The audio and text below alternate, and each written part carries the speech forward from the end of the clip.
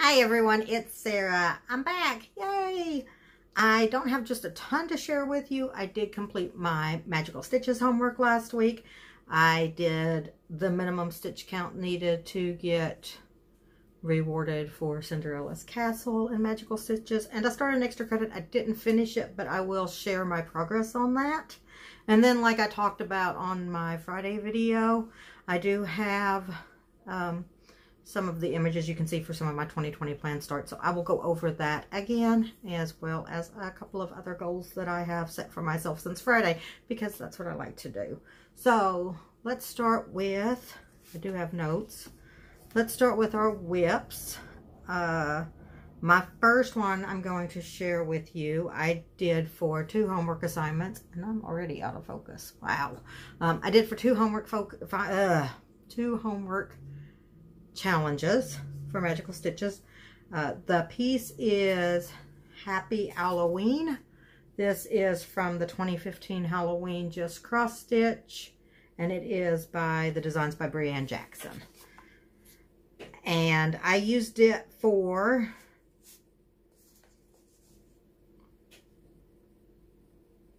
the black um, stitch at the MC310. So maybe focus in. So as you can tell, there's quite a bit of black there. Um, so I did it for that. And then I also did it for the animatronics where they said that you could just do an animal that dresses like a human. And this is a series of three owls dressed in Halloween costumes. So how fun is that?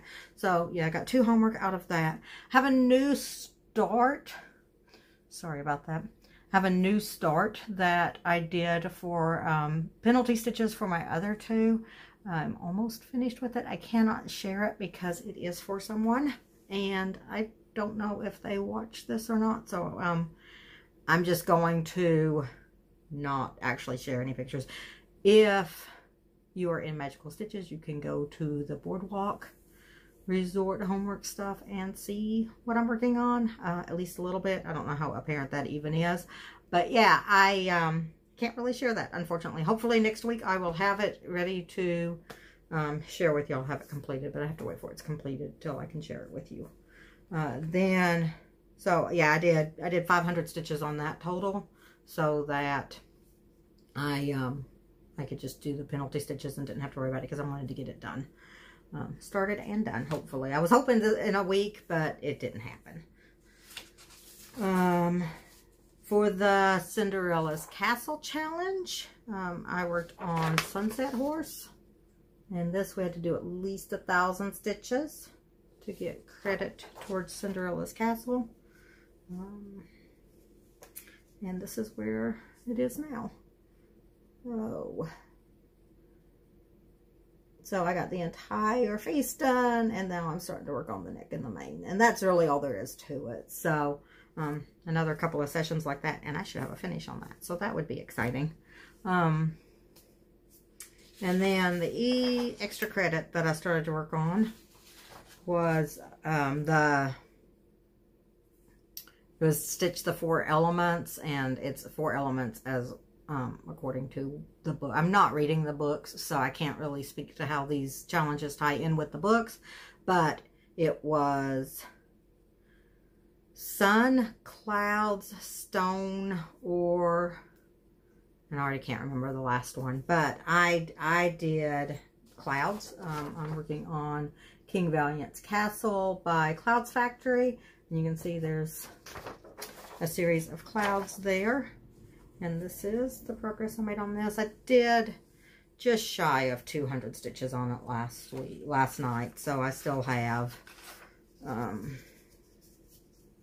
and I did not think to grab here. Let me see if I can just use this, back of this.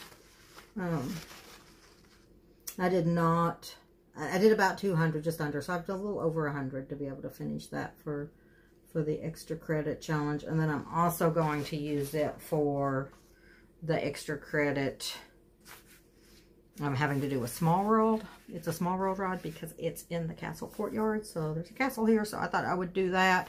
I haven't figured out my other two extra credit, but we have till the end of the month. So I have time to work on that.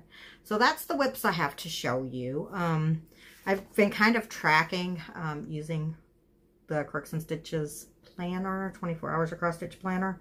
And um, last week, I did a total of 1,823 stitches over five days. Uh, there were two days I didn't stitch at all.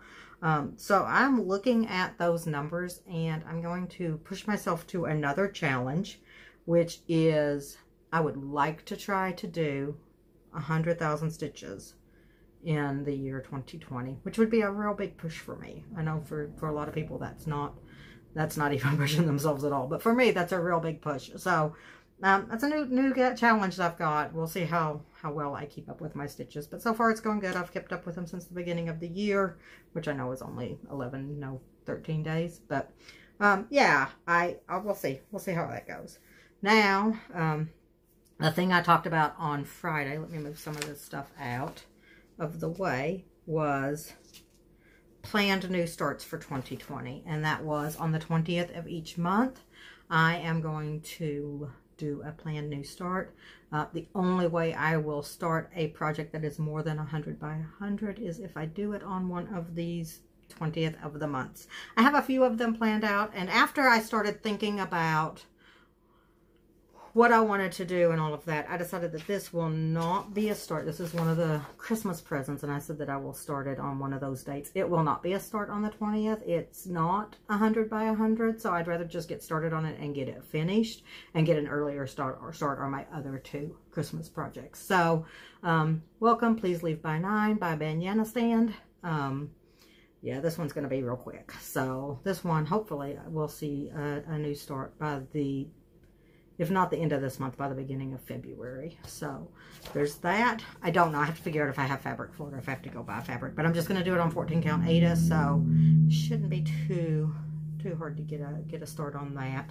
Um, for February and April, I'm skip, skipping March for right now, but for February and April, I'm going to do one of my um, Christmas projects. I haven't. It's going to depend on fabric because I've got specific fabrics I want for both of these. And I don't know just having the hardest time with the autofocus. Um, the first one is you can certainly certainly try by Vale Stitchery. Yeah, um, this one is for my brother. And it's all one color, so hopefully it, it stitches up pretty quick. Um, and then the other one, I went to go print out the cover pages for the things I didn't have cover pages for. And my printer, I guess I didn't I didn't realize, but it is out of ink. I just printed the other day and I don't remember seeing any sort of warning. But um, I will. The other one is Night Fury Dragon by, oh goodness, All Perfect Patterns, something along those lines. I will link it down below too. I will link anything that I can that I'm showing today that's from Etsy or where there's like a online link easy to find. I will. I will link it. But yeah, I'm hopefully showing it right now here. Um, and that is, like I said, Night Fury Dragon. And so one of those will start in February, the other will start in April. My March start, because it happens to fall on my daughter's birthday, March 20th, I will be starting um, the possibilities of Eeveelutions Rainbow um, Maximum Colors. It's just the regular size, not super size, but it is max colors. Um, I will be starting that on the 20th. At least that's my plan. Um, again, I couldn't print off the cover page, so um, I have a picture of what the, the artwork looks like here. Uh, I'm excited to start this for her. It's going to be, uh, it's, it's, it'll be my largest piece um, that I'll have on the go. And that will make my fifth big full coverage. So until I finish one of those, I'm not going to start a new one. I'm just, I need to not have 20 of those going at once. Five is enough. Probably five is too many, but I do like having that selection there too, just like everywhere else um, in my stitching. Um, I am going to, in May, start a Christmas project. I have the fabric for this, so I think this is what I'm going to do. It's um, Santa Sky Scene um, by Emma Congden. It is from, I did not think to write this down. It is from Across Stitch Crazy, I want to say. Um, and I want to say it's an older one, like 2016, but I will I will make that note down below too, and I will have that um, picture here. Um, I'm excited about that one. I think it's really pretty. So that will be my May during Mania. I'm not doing an ornament on the 20th. I will do a I will do a larger project. So I'm going to give that a try and see how that goes. Um, don't have a plan for June yet for July because it's my husband's birthday month. His birthday is actually earlier in the month, but um, I, I, mentioned this a few years ago, quite a few years ago. I gave this to him as a Christmas present that, you know, with a promise to stitch it. And I haven't started it because I kind of just stopped stitching right after that. Um, it is Wee Little Stitches, um, Monty Python and the Holy Grail. He does want one change um, in between um, the, I think this is Lancelot, and this is definitely the, the Black Knight. He wants there to be an empty space because in the credits there is a Sir not appearing in this film or something like that. So he's wanting to recognize that by putting an empty space there. So I will count the stitches for one of the knights and and put that in there. Um, I don't think that's Lancelot. I don't know who that is. I am not as familiar with this. But anyway, in this space. I know it is right before the, the Black Knight. So I will get that done. Um, I may have to double check that I have the right spacing there. But that's that's going to be my July start. And then for August, which is my birthday month, I will be starting The Fortunate Traveler. Sorry, this has got a little bit of a sheen to it. Uh, Fortunate Traveler by Teresa Wentzler. This is out of print, um, as are all of her dragon patterns, unfortunately. But this is what I was talking about when I was talking about Stretch the Magic Dragon.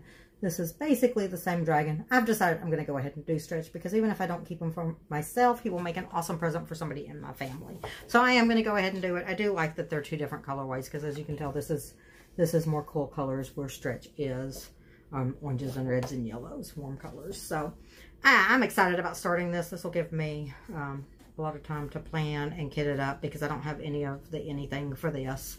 Um, I will also have to get fabric for a lot of these, but that gives me time. Uh, and I'll get to plan it out. So that is my my planned start so far. Don't have anything for September through December. Like I said, there will probably be a Halloween piece that will start, a larger Halloween piece that will start in there. And then I'll have small small starts such as like the the welcome please leave by nine throughout the year. I'm not really limiting my starts on those other than I don't, I'm probably going to only have one or two um, smaller ones on the go at a time. Uh, just so I don't have, I have a limited amount of envelopes and that's what my limit to how many projects I can have on the go at a time will be because otherwise I will start all the things and not finish any of the things and I really would like to do some finishes. So yeah, that's that. Um, oh, the, I didn't think to mention this, that um, Eeveelutions rainbow piece.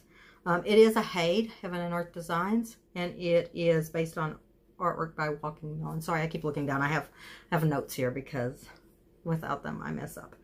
Um, I really think that's all I have. Um, I mean, I've talked to y'all on on Friday, and then I didn't have a whole lot of whips to show, so it's not not super surprising, I guess. But that's that's all I have to share with you today. So this is going to be a super quick video. I do I do have a game to share, um, and this one this one is a small, quick, mostly card game called No Thanks. Uh, this is an older version of it. Um, I believe it is Mayday now that is printing it, and it's got like a blue box and the much brighter colors. So this is, this is one we've had in our collection for a few years. And the way this game works is you start with a pile of cards ranging from 1 to 30, if it goes all the way to 40 or if it stops at 30. I think it stops at 34, 35. 35 is the biggest one I see in here. So um, and the way it works is that these will be shuffled up. You will take randomly, I think you take like nine cards out. So you don't have a perfect knowledge of what's in what's in the deck. You can make a more strategic um, game of it. And there's there's instructions on how to do that. But you you take, I believe it's nine cards out. So you don't have perfect knowledge of what cards are in the deck. And then you will reveal the first card. Um, your the idea is you want to score the least amount of points um, of anybody playing. And the way you do this is you start with, everybody starts with an even amount of these little um, chips.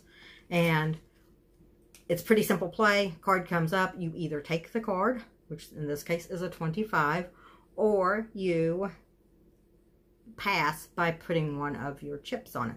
Chips at the end of the game count as negative points, but it also counts as a way to not take cards during the game.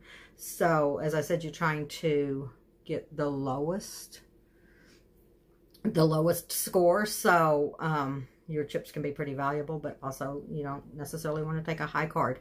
Um, so 25, that is, that is towards the high end, so it might get passed a few times. At some point, you'll be like, you know what, it's worth me taking those chips in order to put this high card into my, into my hand so that I have bargaining power later on. Um, the other thing is that if, say, you ended up with the 25, but you also had the 23 and a 24 because it is in consecutive um, order, it only counts for the lowest number in that run. So it would only be 23 points, not 23, 24 plus 25. So uh, you want to try to get numbers that are in a row. But like I said, some of the cards are removed, so there's no perfect knowledge. Um, once the last card is taken, everybody counts up the points in their hand, not including those higher cards in consecutive order, and takes away, um, subtracts the chips that they have. And then the person with the lowest score wins. So pretty simple, easy game to get into. It's a ton of fun. I enjoy it. Um, and, and like I said, the, the box is a little bit different now. It's blue um, with some bright colored cards. Like I, I don't know.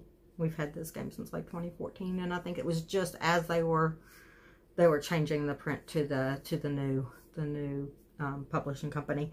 So no thanks. I will link the Board Game Geek link to that as always so you can learn more about it if you are interested in that. And I will be back next Monday, um, hopefully with some more stitching to show you. I hope you all have a great day and a great rest of the week. I'll talk to you later. Bye.